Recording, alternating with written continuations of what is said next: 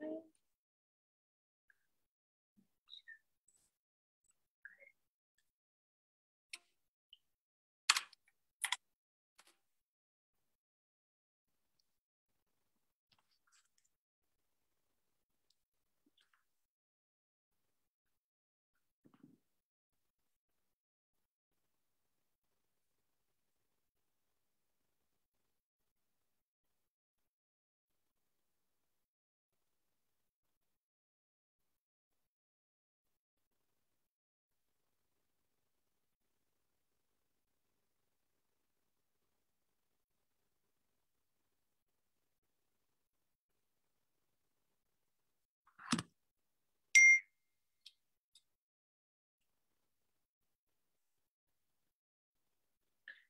Hi, everyone. It's nice to see all of you and welcome back to our session.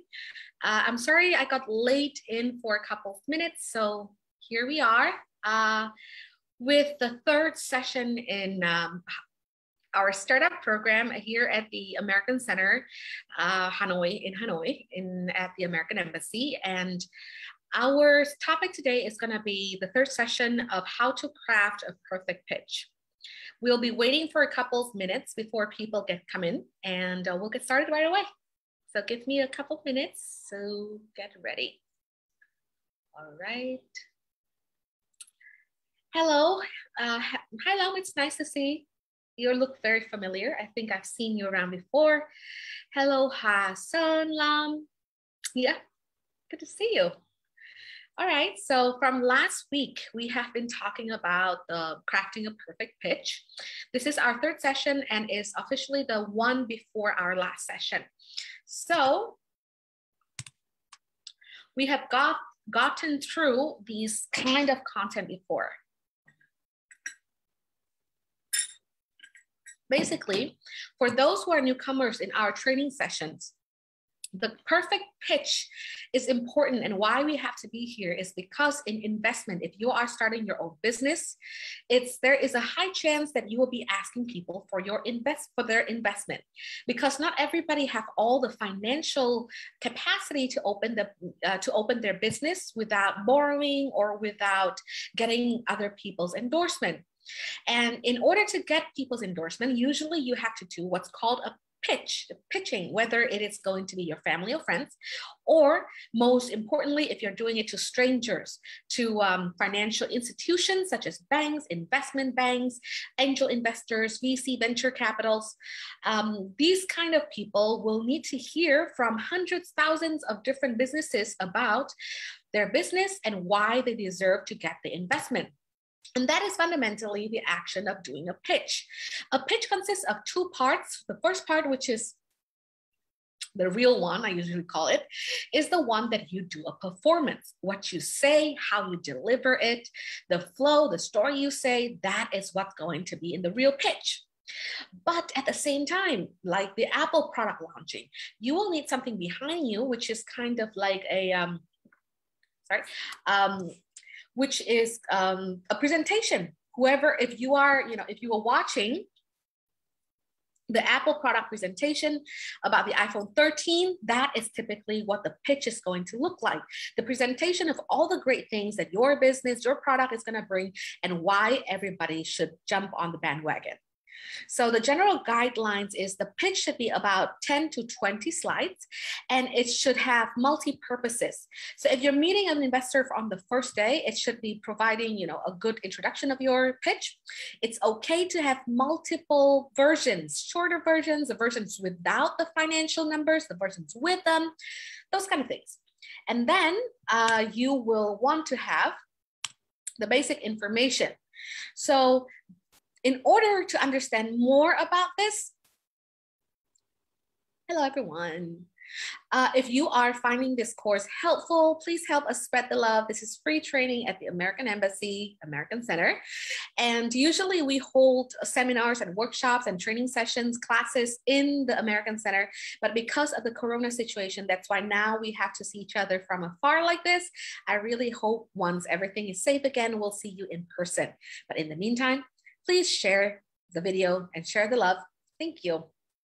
So coming back to the topic, when you are asking for fundraising, there are different tips, tricks, and into pitching, not only how to craft the words that you say, not only how to do the slides, but also understanding the mentality, the dynamics, and how do you get that investment. So usually this is how funding works. Uh, you, initially, usually we would do bootstrapping. Remember, self-fund is the way. If you're not willing to fund your own money in, nobody is going to fund for you. At the same time, if you fund it, then actually, in my opinion, it gives founders a lot more responsibility. It gives you a lot of hard lessons that you wouldn't get if you get, you know, great amount of funding initially. Secondly, you go into seeding phase. In the seeding phase, uh, you usually get a, an amount of what's called a seed money. Seed money, like seed, plants, flowers, they are the initial liveliness of a plant.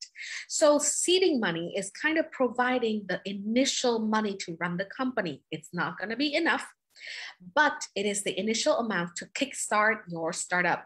And that is in the US, it's going to be about $500,000 to $2 million, which translates roughly to 10 billion, 11 billion Vietnamese dong to 50 billion Vietnamese dong. But in our cases in Vietnam, the number, of course, is going to be much smaller. Then you have to learn how to get familiar with the series A or round A, B, C, D. Basically, it's just one, two, three, four, five, but people like to use alphabet of the times and circles and amount of time that you will do funding. So when you run out of money, uh, you go to round A. When your product's ready, when the startup is ready, go to round A. After you burn enough money, or you feel like the company has gained enough traction, enough results, and you want to get more money, you can go to round B, and etc. You can go to C, D, E. And usually, every time the, the letter increases, that is when the amount of money increases. So, round A is usually three to six million US dollars, round B is about that.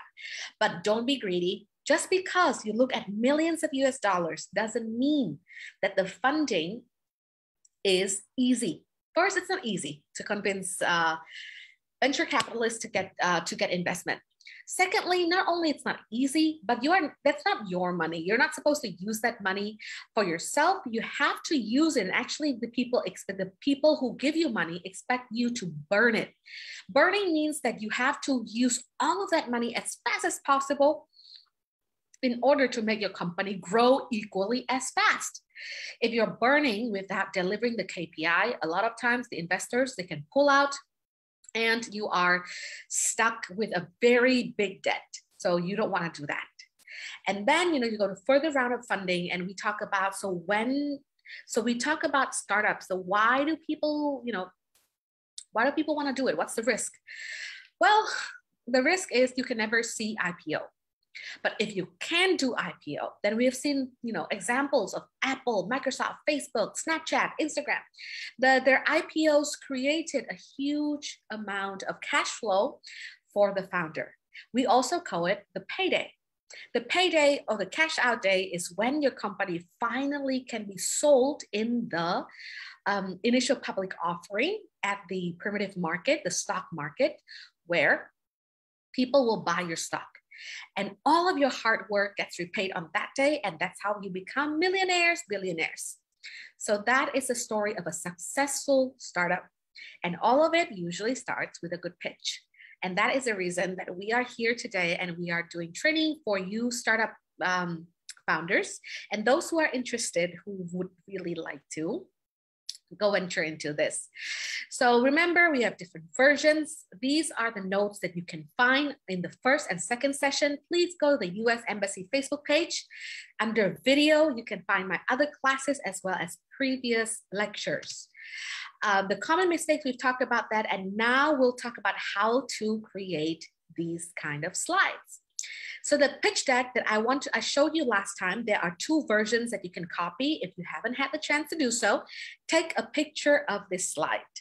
So this is what, um, the Guy Kawasaki's 12 slides.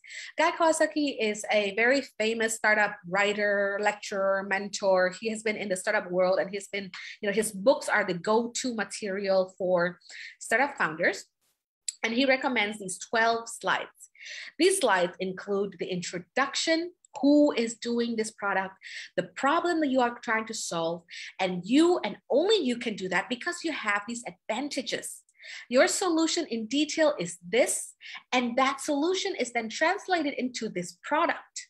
The traction, which means the result that you have been uh, you have been gathering, is that, and because of um, because you already proved that the market right now is huge, the potential is huge, and this competition there are competition in the market, but you are not worried about them because this is your business model. This is how you are going to make the company. So, because of all of that, you are asking for this kind of investment. And if they agree to meet you the second time, please see the contact page.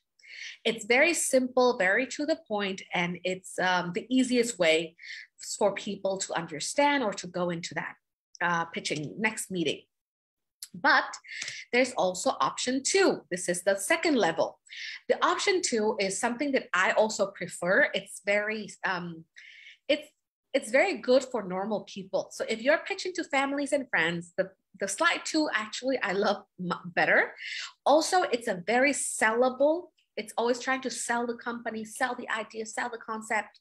So it's very good for people to grasp, even if you are prof- a professional finance uh, financier. A lot of times we are humans, and, and in human brains, people like to make stories. We like to fantasize about a perfect world, and we like to translate stories into the future, into possibilities.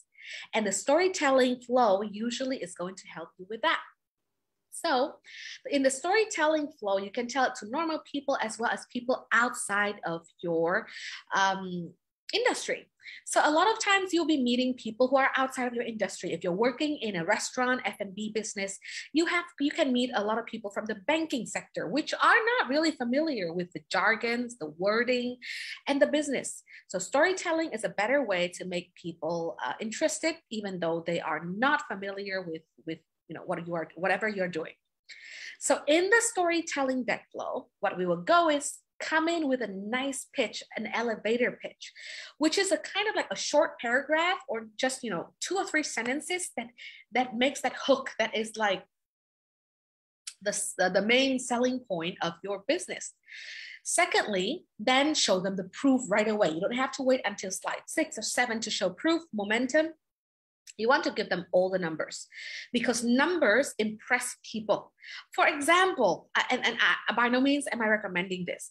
So, for example, if you have, um, if you have, you know, um, let's say 20 people downloading your app, excuse me, and you have 20 people downloading your app. And last month, 40 people downloaded your app. Is, you know, if you put in like, you know, we have attraction of, you know, plus 20, uh, plus 40 people, that it's not very impressive.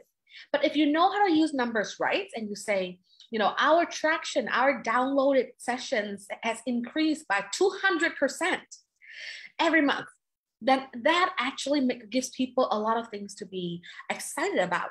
And because of that reason, the slide that has numbers, that has you know impressive uh, traction, is going to be your your hook, your bait. So putting the slide two here is that kind, it has that kind of effect. If you did something well, what is your momentum, expertise, your key numbers? Throw them in the slide two. Number three, the market opportunity. The people want to see that the business will be successful maybe in next year, but also in the next five, 10, or 20 years. So you need to give the reader or your audience an overlook of the market and why it is um, a big opportunity and why the world is changing and this is a new way to make money please define the market size because nobody wants to use a product or um, a solution that is only got only going to be around you know for the next two years. People want to see you know 10 years later we're still using iphones. The first iphone i came out when i was in university. And now we are still you know excited about the new iphone the new macbook. I'm live streaming from my macbook. At that time you know we go to apple keynote speeches just to buy an airpod uh, i'm sorry an iPod. And nowadays they have replaced an iPod, but they still keep up with the market and pulling out, uh, pushing out exciting items. So because of that, you know, make sure that you show them that the market is big enough and also show who is your customer. Number four, then present your problem and your solution. What need do you fill? What are the other solutions? Why are you the best to service this market?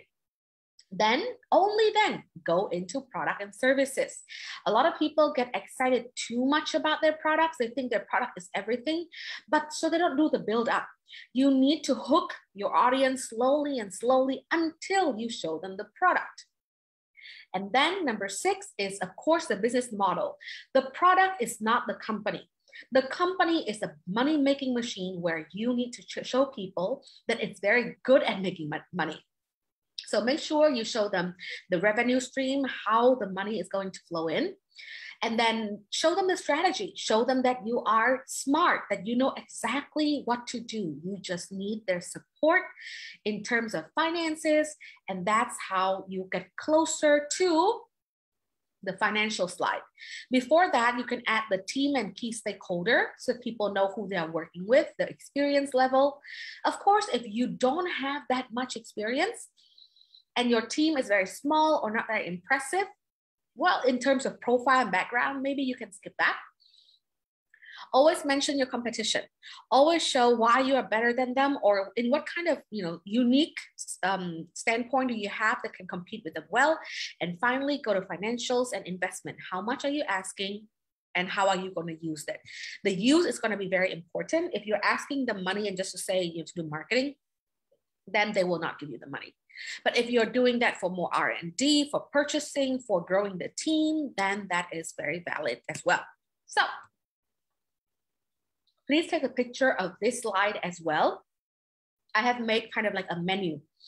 These are all the possible slides that you can put in if you don't, if you want to create your own version. So this is the ingredients list that you can use. There are two pages of that. So there's these, these are the most common slides. There are 15 of them. Please take a picture. I'll give you a minute.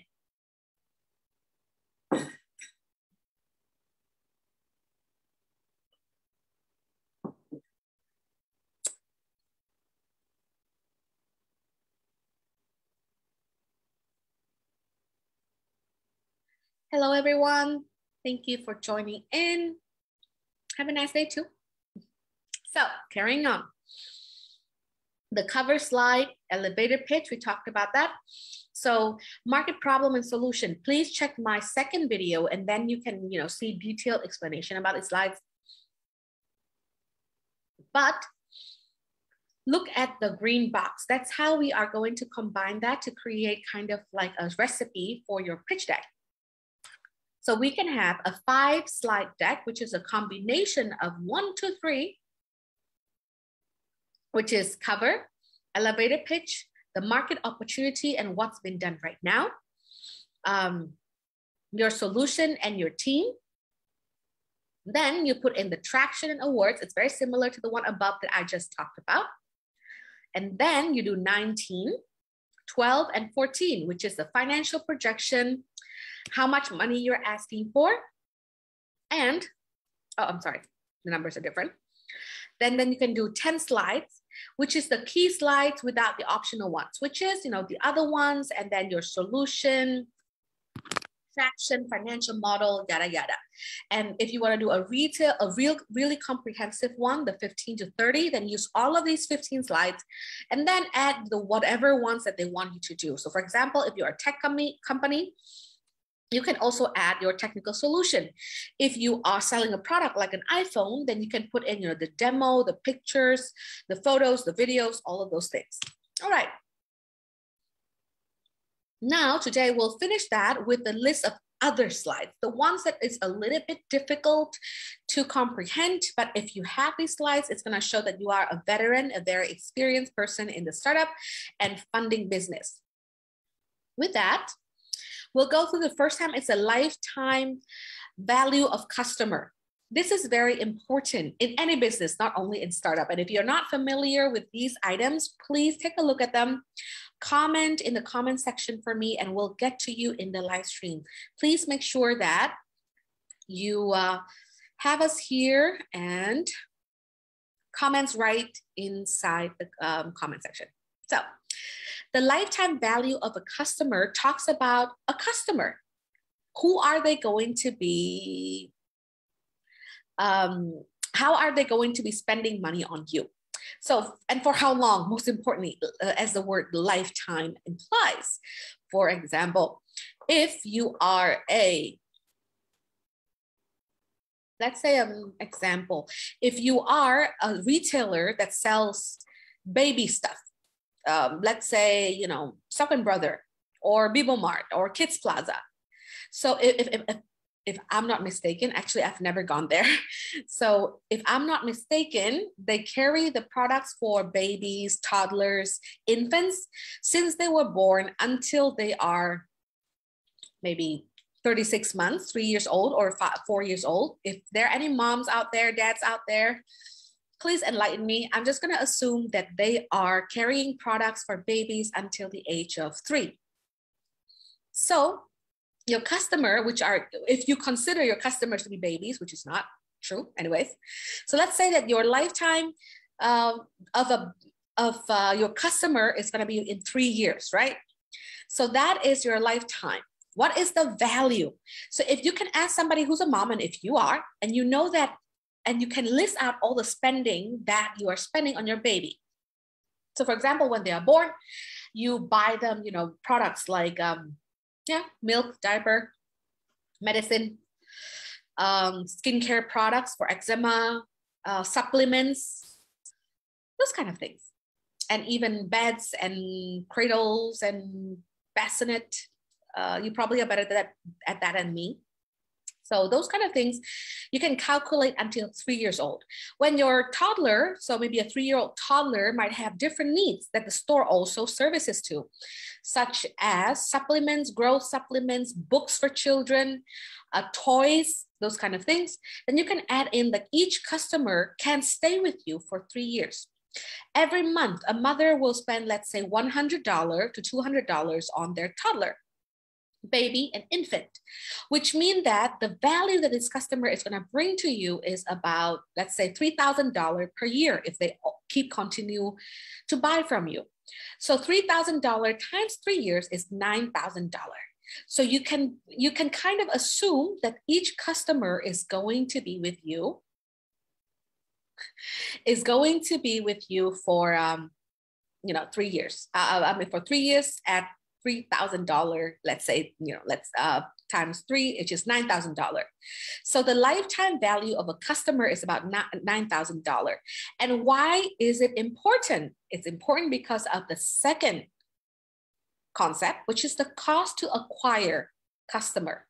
Cost of acquisition is another cost. And um, this is confidential, kind of. But if you are, if you think that Facebook is free, like we are here. It's actually not free.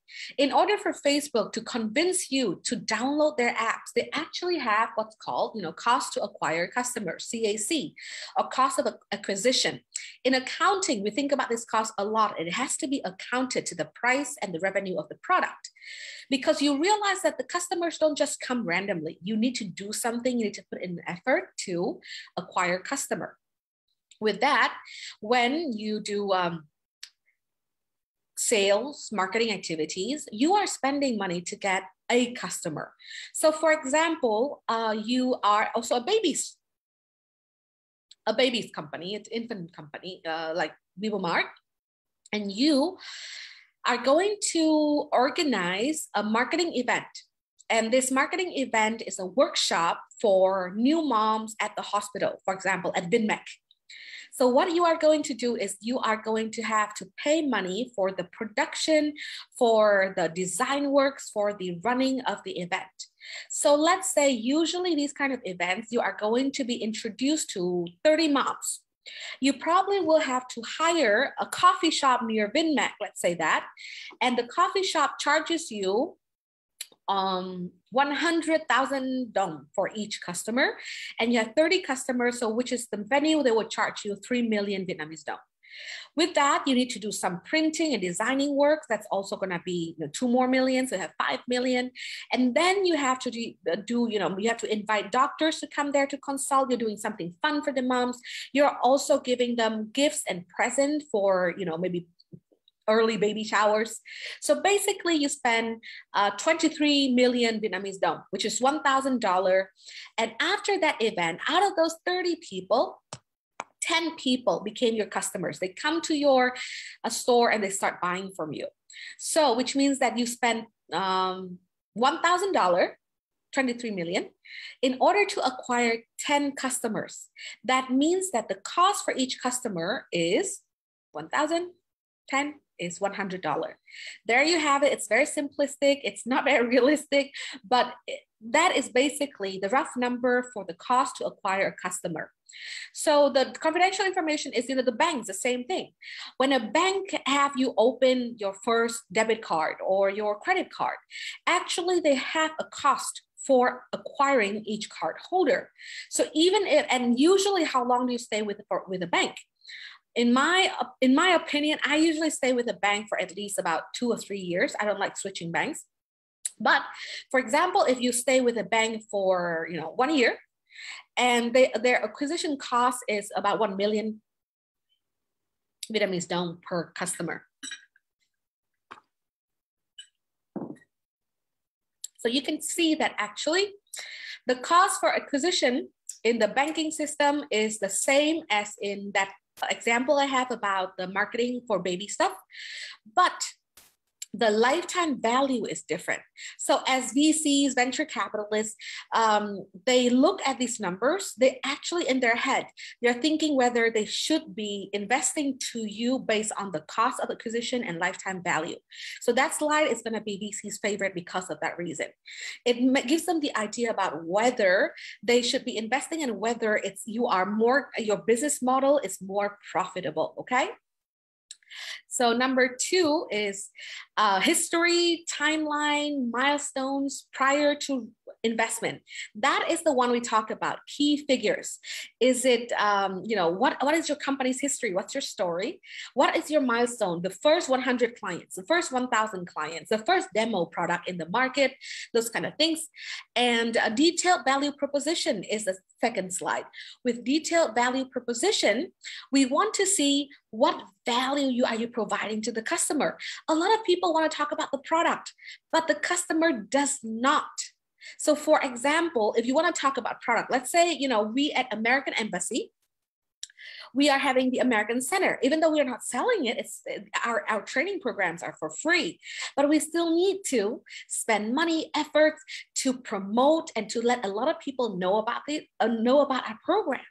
So if we say that, you know, we have the training programs where this is the modules and it's you know, two hours every week, you are going to probably leave. You're going to be bored to death. But if we say that this is the value we provide, we want to create an authentic um, American experience in education for the mass majority of Vietnamese people who want to better themselves for free with topics and with content that is um, not available in their language. We want them to have this access to this all this kind of information and knowledge for free and have this authentic American experience when it comes to learning to better yourself, then that is probably something that you would be interested in.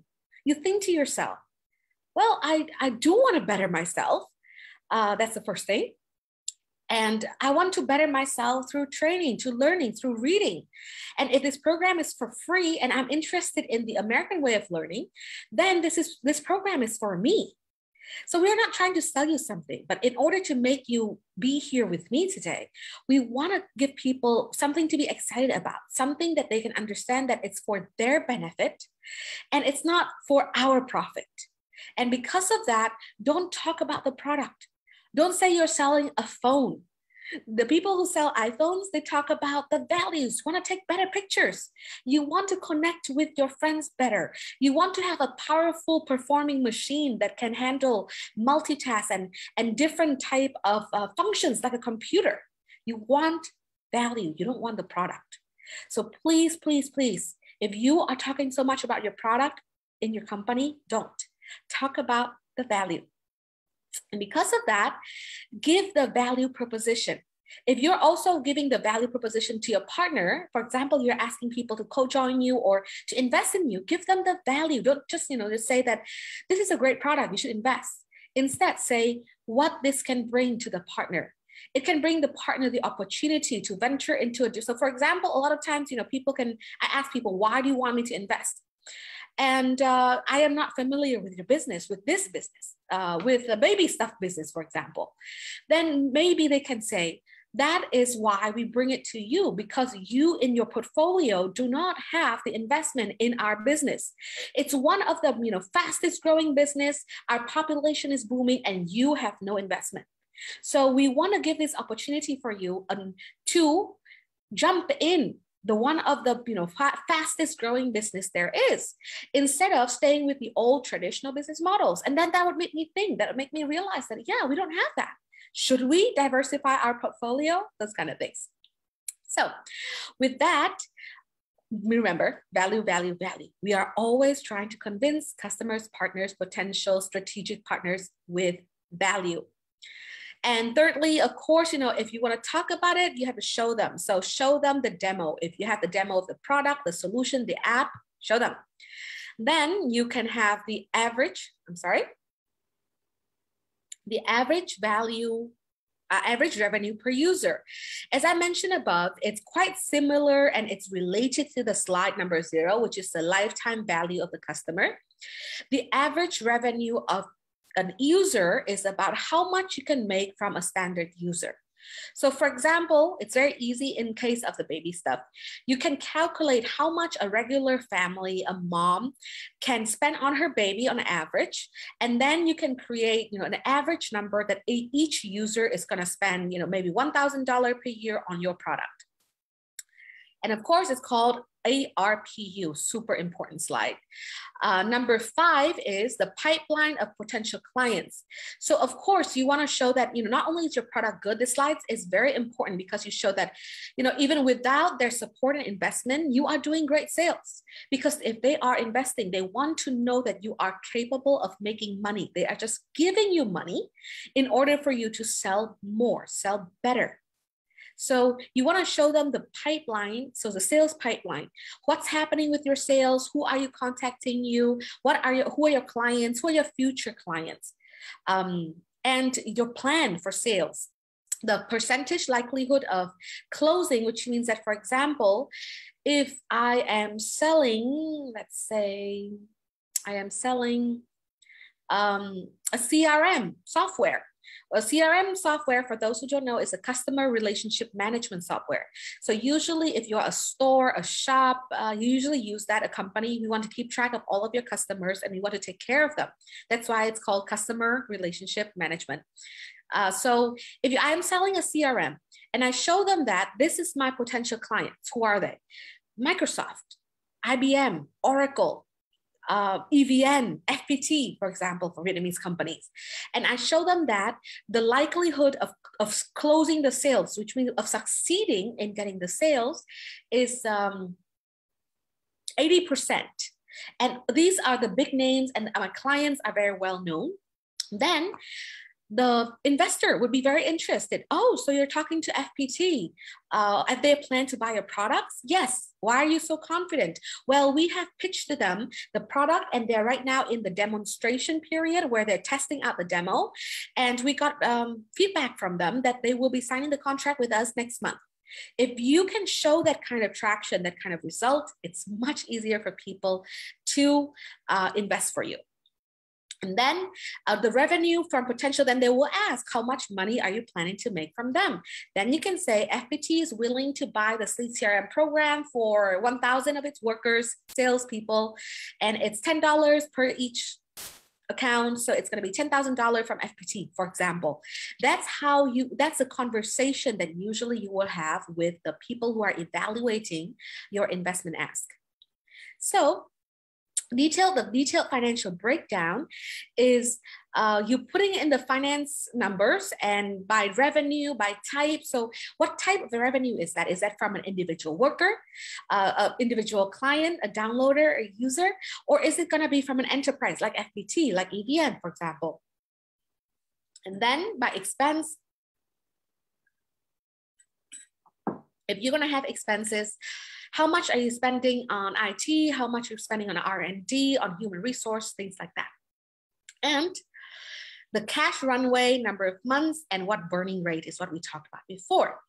The break-even analysis is also a super important slide. In the break-even analysis, we want to show them that our company is not just a money-burning machine. We are asking them to give us money to burn, but we know exactly when it's going to come from the you know negative numbers into positive. When are we going to make our profit? When they can cash out? When is the company going to be successful financially? And um, a funny thing did you know that amazon for 20 years i'm not sure i haven't updated lately but for 20 years uh, until the last time i checked they have never broken even. They have never made profit and people go crazy because they think why? Why are you how can the one you know the biggest retailer in the world one of the biggest companies in the world? And jeff bezos the um, owner of amazon the, the founder the ceo of amazon is the richest man alive in the whole planet on the whole earth. How come they never broken even? Because he is constantly putting his profit into reinvesting in the company because it's still growing. It's not because they are not capable of making money and of making profit, but because by that they also avoid a lot of taxes, which is you know another story. But at the same time, it shows that they are they keep burning the money because they they still have room for development and room for growth. So um, then we have the headcount organization structure. This is a little bit boring, and a lot of times the VCs just look at it and then we're going to be like, you know, next, next, next. But it shows us if you are an experienced manager. If you have the capacity to run the company, if you know about human resource, if you understand management, if you know how to manage people, if you're experienced in that, so that is going to be our head headcount and organization structure. Um, the partnership agreement here, we want we also want to hear. So if we are really interested and we really want to invest, then we would want to know who's involved what kind of partnership you are doing. So, in even in your founders team, how many people are there? What is the structure? Are they um, also co-founders? How much stock do they have? Those kind of things. Capital structure, same thing. Number of founders, blah blah. So, I love me personally. I think the most important slide for me. I don't care about any to be honest, I don't care about the other stuff. Uh, you can be inexperienced with finance, you can be experienced with other stuff, but your strategy and your go to market strategy is going to be the most important slide that I look for. Because out of, I, I can tell you that out of, you know, um, 100 proposals, pitch decks, or pitches that I've heard or read, uh, then at least, at least 80% of them do not have this slide, go to market strategy. Uh, and it's for some very silly reason. A lot of founders, they don't want to share. They just think that their strategy is very secretive. And, uh, and I understand that point of view. However, what I really think is, you know, ideas and strategies are very cheap. Execution is more important. A lot of people have the same ideas. Uber, Grab, they have the same ideas. Your friend who opened a restaurant has the same idea with you in opening a restaurant. A lot of people go on Shopee nowadays and sell Chinese imported product from Taobao and from Alibaba. And what happens is people share the same ideas all the time. If you're smart to a certain level, your ideas is going to be smart to a certain level. But it doesn't mean that your idea is unique. But the difference between a successful company and an unsuccessful one is just the execution. Who can do it better, faster, cheaper, and more accurately? And so if you're asking somebody for money and you think that the go-to uh, go to market strategy is a secret, of course you can have some really great ideas about it. but in my opinion sharing them is more profitable for you because then the you know you can get people excited. Whereas when you don't share them it just shows that you don't have an idea about how to bring it to the market. If you have problems with financing venture capitalists and investors can help if you have problem with marketing hiring a good consultancy is good is easy but if you don't have a strategy to bring your product to the market if you don't know how you are going to approach clients, then you're not profitable. Then you are not potential. Then you're just kind of, you know, a silly person with a good idea. So make sure you show the investor your strategy, and uh, that will set you apart from all the other people. And lastly, you can have other slides. Uh, in my case, I like a lot of architecture slide. Architecture, there are different kind of models. You have the brand architecture, the company architecture, the technical architecture, uh, technical document, use cases. You can have uh, the funnel system, so which is the pipeline or sales funnel, marketing funnel, those kind of cool MBA phrases. That's fine too. Operation, business operation. How are you going to operate? How many departments do you plan to have? Those kind of things. And lastly, the growth strategy. How do you plan to grow your business? Those kind of things. So these are going to be a more advanced set of slides if you have you know uh, if you have a startup that and you are a little bit inexperienced you just want to do your homework you just want to tell a good story this is your first meeting with a venture capitalist uh, investment bank and maybe if the person you're pitching to is your family, your friends, you know, the, these kind of slides are enough, you know, elevator pitch, market problem, solution, that's quite enough.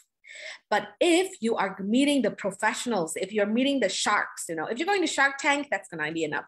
But if you really are meeting the sharks in real life, you probably should know the second sets of slides and of information. And as you can see, there, it's going to answer more in-depth questions, the more cold-hearted questions about money, profitability, and all of that. So with that, uh, let's go to the examples.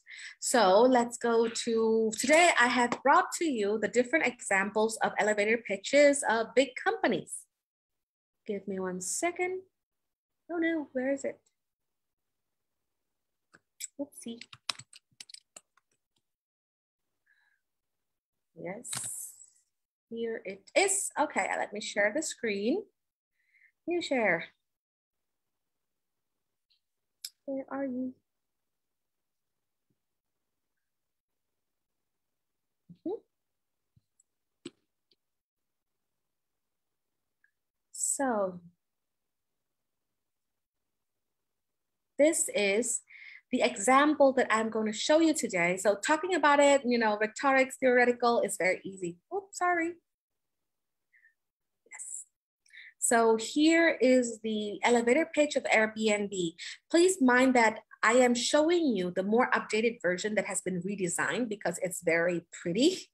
But if you look at the Airbnb um, pitch deck from 10 years ago, it looks very simplistic and it looks very ugly. Uh, PowerPoint at that time was not a you know design world, and PowerPoint wasn't so popular, I guess. So their slide decks is it looks quite silly, but um, the content is kept the same. And nowadays, it, it really helps to have a nice slide. Um, if you can have somebody professionally design it for you, that's great. It's gonna increase your the attendance, the attention that people really want to pay for your slide. So this is Airbnb. Uh, does anybody in the in the live stream do you guys know about Airbnb? Are you running an Airbnb business or have you stayed in an Airbnb? Have you used the service of Airbnb before? If you have, please, you know, comments that I can know. Oh, thank you, Doling. That's very, that's very kind of you. And thank you, Dinduk, I think. Thank you very much for your support. So please, if you have stayed and uh, rented, or if you have worked with Airbnb, you're familiar with their business model, please comment in the slide. Now we are going through their pitch deck for, for the example. So as you can see, even you know these are extremely successful businesses, but their but their initial slides are very simple. So let's see. So you can see this is the cover page, Airbnb pitch deck, uh, book rooms with locals rather than hotels. That is kind of like their, you know, slogan, short elevator pitch, which means that it, it shows to people what business they are in. Um, the Airbnb business is in booking rooms, in accommodation, and they provide a different solution where you can book rooms with locals than hotels. It provides an alternative to hotel booking. And as you can see up front, without you know, any fluffy stuff, they go into the problem. The problem is the price is an important concern for customer booking travel online. Yeah, we think about that. It makes you think, doesn't it?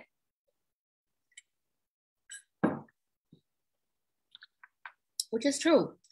And I, I Um, if you are, you know, a billionaire that owns, you know, a bunch of hotels and you pri- you fly private jets, then you're probably not going to think about that. But people who travel for what?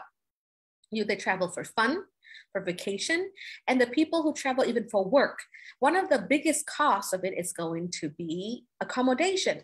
So price is going to be an important concern for them, and that is the first thing that you know in my head. It, it also rings for me, and I think about, yeah, sure, that's true the second thing is hotel leave you disconnected from the city and the culture. And that really got me as well. Uh, so the other day, you know, I, I, I travel a lot for my work. And a lot of my friends say, oh, I'm so jealous. You can go to a lot of places. Uh, but actually, it's very depressing. I remember, you know, when I was in Hong Kong, for example, I spent, you know, three days in Hong Kong last year. I don't know, not last year, the year before that, before COVID uh, BC. So um, I went to Hong Kong and I literally, you know, landed at the airport. I went to the hotel for five minutes and then I go to the um, partner's office. I stayed there for, you know, two days and I slept in my hotel room once and then I came, I, I go back to the airport. And in my in my passport, it still says I traveled to Hong Kong, but I never got to eat, you know, their Hong Kong toast, their dim sum and go shopping and things like that didn't happen. I went to Korea the same way. When I go to Korea, people say, Oh, you must go to Korea a lot. It's like, Yeah, I do, but I've been there for one day and then I didn't even get the, to eat the food. Um, the other time I went to, um, where else? I went to Bangkok.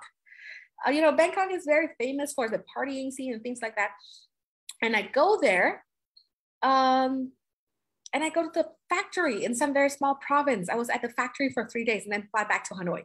So these kind of experience for me is very is very depressing when you go to a certain place and you don't get to feel um, the culture, you don't get to travel and just to feel the people and everything. And the hotels leave you, and the hotels are expensive. You are locked in a very small room. It's usually just about 15 to 20 meters, and it's disconnect. It's a lot of disconnection, which is true. And the last thing is not easy way exists to book a room with a local or become a host. So a lot of times, you know, uh, when we travel for fun, let's say that, we really, really want to be living with the locals. They know where to eat, where to go, and what's really good about their city. What is the soul of their country or city, the culture. So when they bring out these kind of three points, they have already determined that their customer, their focus customer, their target customers, both for work and for you know leisure, for, for fun, are gonna have these three biggest problem. And it makes people think the price, the fun, and um, the easiness, the convenience. So with that, they provide the solution right away. So this is our solution. We understand you. We understand your problem. A web platform where users can rent out their space to host travelers through. So here they're talking about from the host perspective. So Airbnb, they work in a kind of what we call in the business model called double-sided market. A double-sided market, which means is that you have to serve two opposite people. So um, who are going to come together like a matchmaking business. So for example, Uber is also in a double-sided market where they have to serve their drivers. Their drivers are also their clients. They have to do marketing to drivers, recruit the drivers, customer service to drivers. They have to make sure that the drivers download their app and start driving for Uber. They also have to service to the end customer, which is us, the people who book the cars. So basically, they have two sets of customers, double sided market. So in this case, the solution is a first here, they're talking about one side of the market. We provide a web platform where users can rent out their space to host travelers to. So first they talk the same way with Uber, they always talk about the provider first. Why? Because you need to have a host first before you have the client. Also, it's easier to talk about the host because it's a money making scheme. It's very easy to convince people to download your app if you're telling them that you can make money. So it saves money to what? Now you're talking about the client, the end user. You can save money when you travel. You can make money when hosting and you can share culture. So for both of the sides. So it sounds very attractive already with the solution. Now they they after all of this romantic talk, they focus on the money. What is the market validation? So they, they show that in Craigslist. So I, am not even sure if Craigslist still exists in the US, but at that time, you know, Craigslist was kind of like and I think it's very similar, um, where people just come up there and they try to connect between people and people. I still remember my first camera that I bought, my first professional camera. I'm a photographer as well. And my first camera was bought through Craigslist. The reason why I use Craigslist for electronics is that you can meet the person and check the product, you know, instead of buying it on Amazon or eBay. So Craigslist is kind of like a peer-to-peer service where people can go there and find anything. You can find a babysitter, you can post for a job, you can sell cameras, sell old clothes, you can find rentals, things like that. So Craigslist has a total value of six over 600,000 total users. Couch surfing at that time was also a platform where you can find you know accommodation to stay with a local host, a stranger, for about 17,000 um, temporary housing listing. So what they want to show is that right now there is a market. We don't have to go out and look for people with the need to rent out their space because we already know there are 17,000 people out there who are interested in renting their apartment, their couch. And so in San Francisco and New York from this time, and that's only in two places, which is San Francisco and New York. So imagine, you know, in 50 states in the US, how many places, you know, there are. The reason why they put San Francisco and New York City is probably because those are one of the most expensive neighborhoods in the US. So the market size is what? 2 billion trips are booked worldwide. That is the total market. So remember, TAM is going to be a word that we will see a lot. The total available market is kind of like you're looking at a cake, you know, at a birthday cake. And this is the total cake. That's how much that you have, you can eat. Um, however, of course, we cannot eat the whole cake. We cannot digest the whole cake. So we would have serviceable available market. Um, and so we know that, you know, we, we are not for everyone, not the, to, the sorry, not the, the total of 2 billion people are available for us not all of them will be interested in us because a lot of companies, for example, they book through their agency. They cannot use Airbnb because, for example, in my case, Airbnb doesn't provide the VAT invoice. And if I'm traveling for work, then I will need the VAT invoice to show my accountant. So because of that reason, I will probably have to use, you know, um, agency, booking travel agencies in order to get that invoice. So we can only service about you know 25% of a quarter of that. So we have 560 million budget and online serviceable market. So no offline booking, no travel agency, just online. And then those is, are still, you know, this is half the piece of a cake. That's still too much for us. And we just want to be humble and we want to say that we can only digest 84 million, which is also a quarter of a quarter of the total available market. So, oh, it's not a quarter. I'm sorry. That's gonna be, I've got a yeah, math major. Let's see, 84. I'm probably the dumbest math major there is. by 50, 15%. That's 15% of uh, 25% of the total available market. So the trips with Airbnb they want to have is they want to convert 84 million people who are right now working in you know budget and online services in order to, to uh, book with them, and that is the 15% of the available market. That is their idea. And this is the product that they want to show. So they want to show this is a demo that I talked about. They are showing the search by city. So you can see the product and imagine how it works.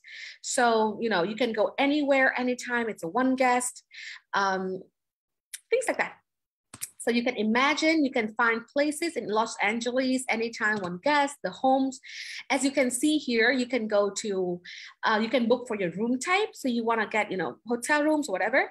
You can book by home. So you wanna have a house or an apartment. You can get a price range of how much money are you willing to spend, um, things like that. And you can find different kind of stay and then it's very easy to book. As you can see here, the cost is gonna be much, much cheaper than actually booking through a hotel. So with this, their business model is they take 10% commission on each transaction, which means that, for example, here, they are booking, they're booking, I'm sorry, um, $375 per night, which roughly translates to 8 million Vietnamese dong. So for 8 million Vietnamese dong, that you can stay at a Malibu by the sea beachfront apartment.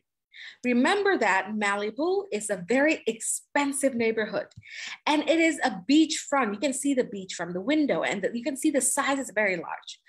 Um, in Vietnam, we have Six Sense Ninh Văn Bay. Six Sense, uh, whose chairman also uh, I'm familiar with is one of the you know five star six star resorts in vietnam. It's in Con Dao island. And i remember that when they first came out their cost for a room is about $1000 per night and that's one of the cheaper room. Also you know it's it's a, a bungalow i think it's a bungalow in beachfront in uh, Con Dao and it was $1000 per night Whereas here you have $375 per night for a beachfront Malibu apartment. So as you can see and compare the prices, people can definitely see that this is a very you know, cost efficient kind of accommodation and stay. So with that, their business model is um, because they take 10% of the commission and um, they get 15% of the market, which is $84 million. And so for $80 per night for three nights, then they will get about $25 per average fee. And if you multiply that, you probably will have about $200 million projected revenue in 2011. So they estimated that they will make the revenue of $200 million. And uh, market adoption is a little bit like go to market strategy. What is your creative way in order to get into the market. So here by events, your target events monthly, they will go to Oktoberfest because when is the high season for travel? Um, vacations is usually around public holidays or some special cultural events. So in this case, they have Oktoberfest. Maybe this is in Germany. So six million people will probably go to Germany to enjoy Oktoberfest, which is a beer fest. It's so much fun.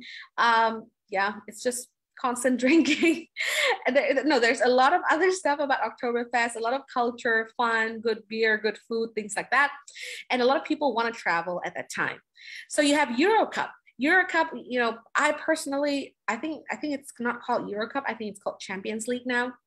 Um, you know, I don't like soccer. I have to say I abhor soccer. I'm sorry to guys out there, but I'm sure that there are many of you who really want to go to Europe to watch, you know, Champions League and things like that. So um, they estimated there are about 3 million people traveling. And we've got Summerfest, Mardi Gras, also another great cultural holiday. And so with each of those things they they want to do market adoption. They want people to start you know using airbnb for the first time. If i was traveling to new york i, at that time if airbnb was around i would definitely try it. Too bad i couldn't so i got like a 300 or 400 dollar per night uh, room that is you know dirty gross icky with uh, you know uh, yeah, it was a very, very bad experience in New York, New York City, and um, it was too expensive. So I think if if Airbnb was around when I was traveling to these kind of events, then I would definitely book them. Another one is, you know, partnership. So they want to do partnership with uh, cheap alternative travel to Kayak. If you don't know about Kayak or Orbitz or GoLoco, those are websites where you can book your travel tickets online. Kayak is for flight and accommodation. Orbitz the same way. Um, why do these people? Uh, they are not competitors. Well, they are competitors. Why are they wanting to partner up? It's the same thing with Grab Taxi in the beginning. So these companies, they are used to booking hotels, but this, this business model is is creating something brand new, which is a local stay. So instead of fighting with each other, they find a way to partner up. And that is why they wanted to partner with Kayak. And of course, Craigslist. Craigslist is the original place where people were posting, but now I don't think Airbnb has to partner with any of these guys because they're already very big. So the competition in the market right now, this is what we call a market positioning map. This for people who are in marketing will be very familiar with this thing. It's a graph where we have a two axis where the vertical axis is about the affordability. So there it's very affordable on the top and then you've got the expensive in the bottom. And in the horizontal axis, we've got the offline transaction and online transaction. So as you can see, Airbnb is in the affordable online transaction. So in terms of kayak, kayak is going to be hotels. So it's going to be online, but expensive transaction. Whereas, you know, Craigslist is affordable and online, but less reliable. So you want to put your competitor in the map so you can compare to other people. How do you perform with them based on those two ideas? Does it have to be just, you know, price and what is the other one? And offline online? No. Whatever that's important in your business, just pick two criterias and put them into that axis. Okay. So the competitive advantage is what? So Airbnb is the first to market. I we are, we have the rule of the first. If you know about that, it means that whoever's the first is usually the most popular one. It usually wins. So the first to market for transaction-based temporary temporary housing site. So they're the first one. That is their first advantage. The second one is so easy to use. It's because most people will value convenience. So they're easy to use. Second, third thing is most other sites don't have profiles. The same way as when Uber came out. If you're driving a taxi, if you're driving with a taxi company, it's very difficult to rate them. You have a bad experience with the driver, you will never meet him again. It's very difficult to know if you got a good driver or a bad driver, if he's got bad attitude or not.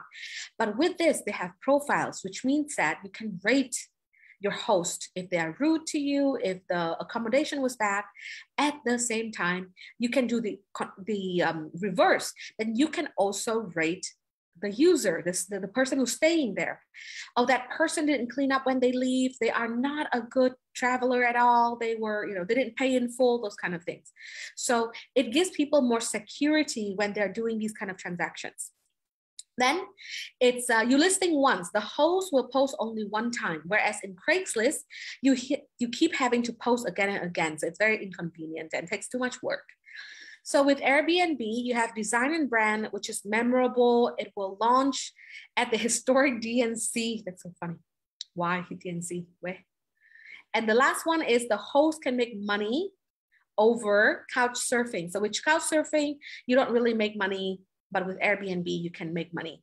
So in Vietnam right now, young people nowadays, so many people are renting apartments because, you know, oh, in Vietnam or in Asia in general, uh, we have this tradition that you want to hoard wealth different from the Western world. Um, you know, we are quite similar to the Western world when we talk about Europeans, but Americans are not like this. A lot of times, Americans they rather buy other kind of asset, and the regular Americans usually mortgage their homes, and um, they spend more than they earn. That is the uh, way of living. But in Asian countries, people like to save money. People like to put them into land and real estate, apartments, and housing. So that is what they usually do.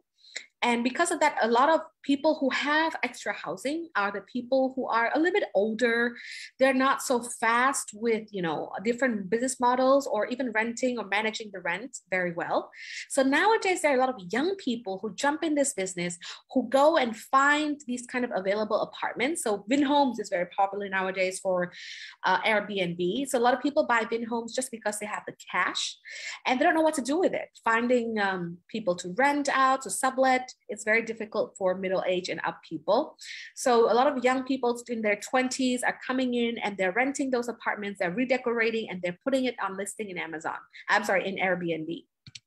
So the team here, we have uh, Joe, we have Brian and Nathan. So we have the user interface and PR. As you can see, the most important thing here is the user interface, the product, because they were saying their competitive advantage is being easy. The second person is Brian Chesky, which is the business development and branding. So as you can see, they need to have traction, partners, need to meet kayak, they need to work with you know Oktoberfest. So business development and sales is something gonna that is you know crucial to the success of this business model.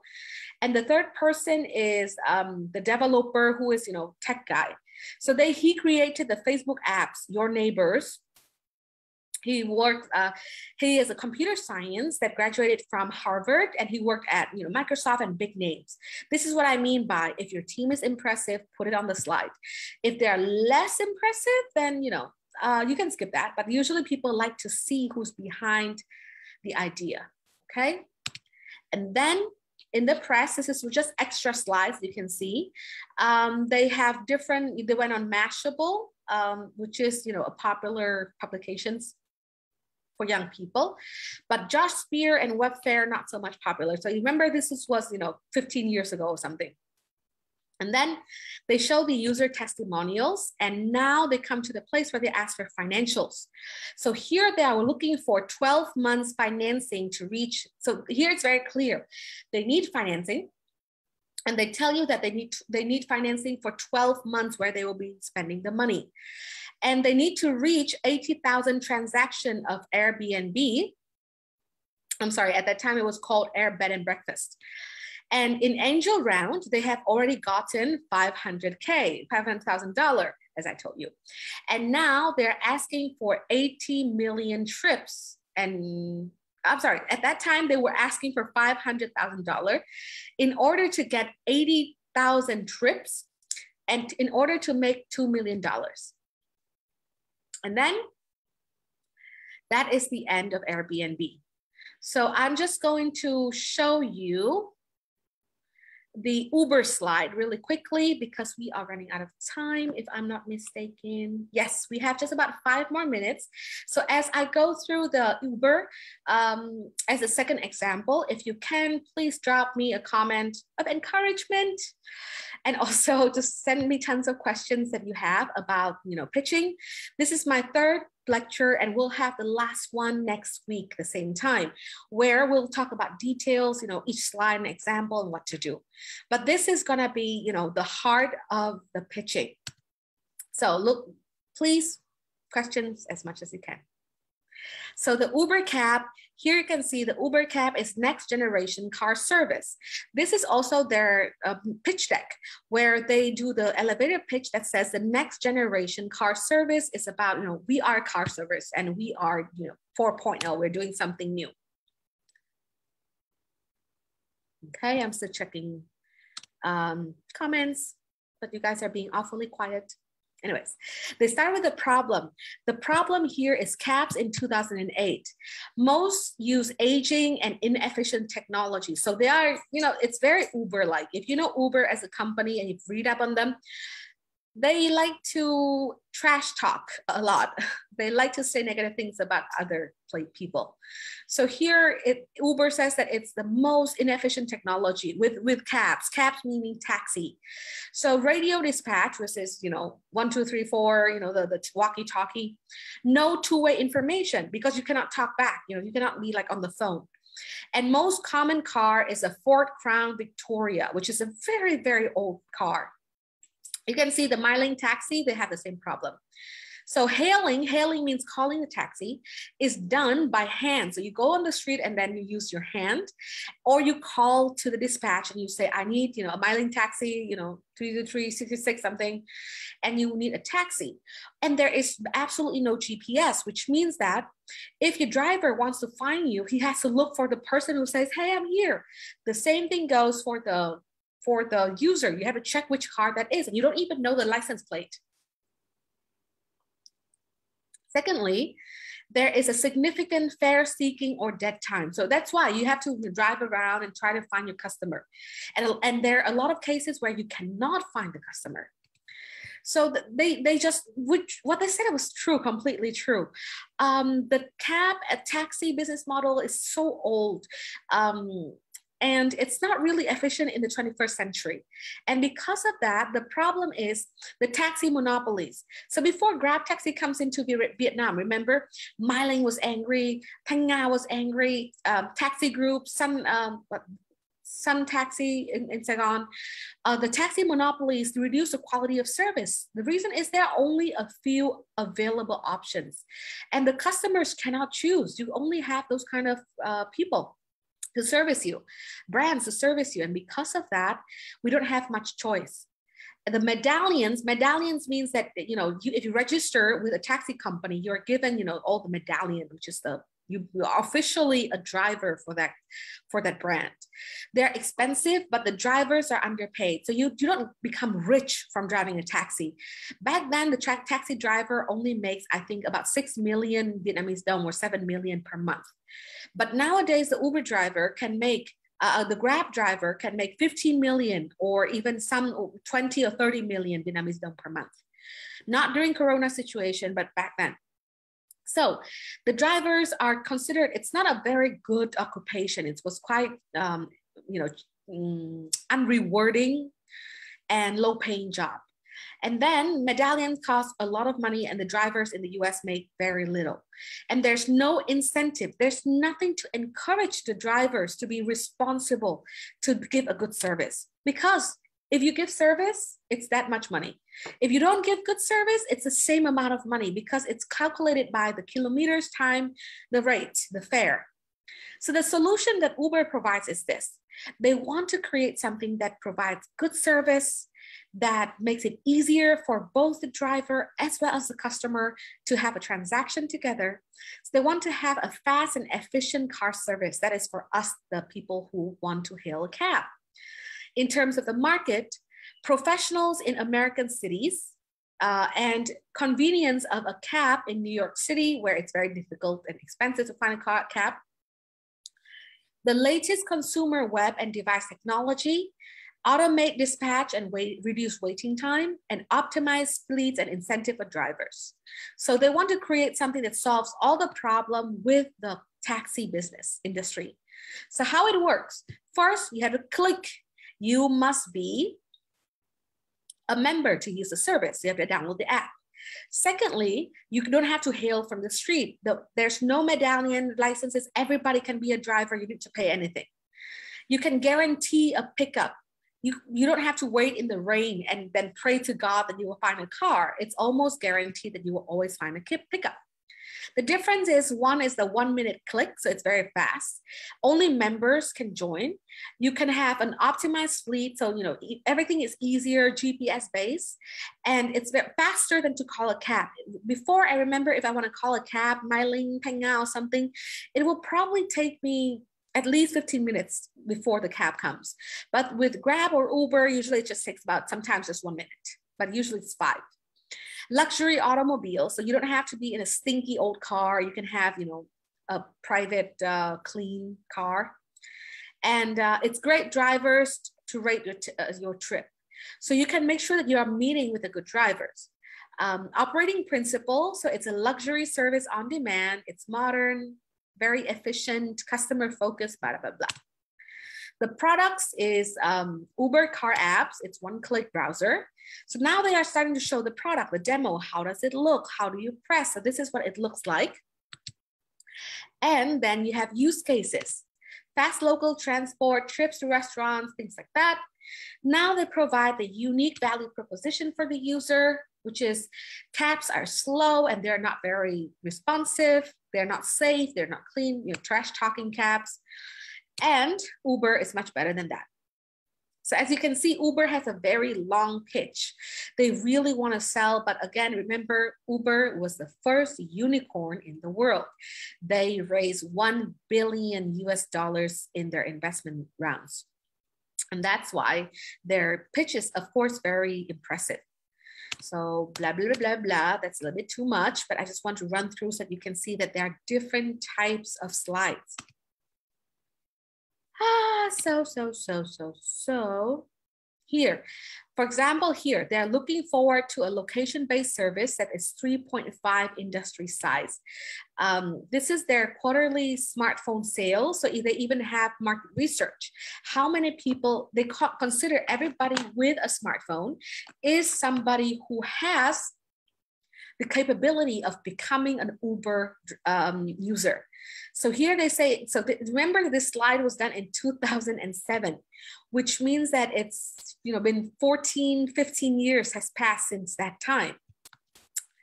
And smartphone sales by operational system, yada, yada, yada. So future optimization is they want to change the, the, their product into this. And this is their going to market strategy, the slide that I told you guys about. It's very, very impressive if you have this. So these are different slogans and uh, they have only invites. I still remember when Uber came to Vietnam, uh, I was I was dying to have a um, an invite because I used to drive them. I used to use Uber when I was in other countries, but not in Vietnam. So I actually have to beg my friends, you know, anybody has an invite, send me. So it created that kind of very exciting moment where you feel important, even though, you know, that was just a marketing tactic for you to get excited about the business, but um, it's worked at that time.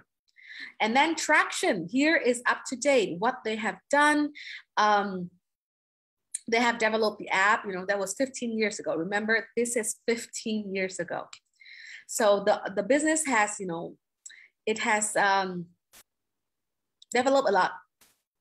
The only funny thing is here we don't see the slide about the ask money. So we don't see that Uber, how much money is Uber asking for? So probably it was a confidential slide that they sent to the investors only. But as you can see, um, history was made based on PowerPoint. At a certain point in time, all the big companies, all the businesses started with something like this. And now it's got multi billion dollar companies and multi billion dollar businesses. So if you are here, you know, hoping to start your company, remember that it all started somewhere with a pitch, whether you're asking for a bank or from your family member, you are responsible for delivering, explaining, and showing people that your company is worth something. Also remember that this is not only for funding. In my experience, doing a pitch is really helpful for the founder because it helps you clarify all the information that you are supposed to consider. When you open this company, did you know how big your market is? Do you see the potential? Uh, how much money are you going to burn? Your team is it strong enough? You should be looking at your company the same way that the investor is looking at your company. And crafting a pitch, even though it might not be read by anyone, if you're bootstrapping and you're using your own money, that's fine too. And I highly recommend that. But having a pitch helps you have a more critical, objective, subjective look at your company. So with that, I have to end our session today because we are out of time. If you have any other questions, drop me a comment. Make sure you see me next week, the same time in the America, please Google, um, search on in Facebook, like US Embassy in Hanoi, and you will find our live videos. They're going live from 3 p.m. next time. I'll see you later. And this session is also going to be recorded in the video section. So if you missed today, you can go back and watch it. Thank you for being here and thanks for your support. Bye bye.